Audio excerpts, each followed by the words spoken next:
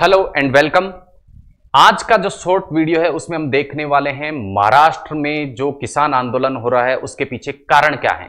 तो महाराष्ट्र का जो किसान आंदोलन हो रहा है, तस्वीर आप देख पा रहे हैं, प्याज के मामले में ये आंदोलन हो रहा है। तो प्याज के मामले में किस प्रकार का आंदोलन खड़ा यहाँ के किसानों द्वारा किया गया है, उसके कारणों के पीछे हम बात करें।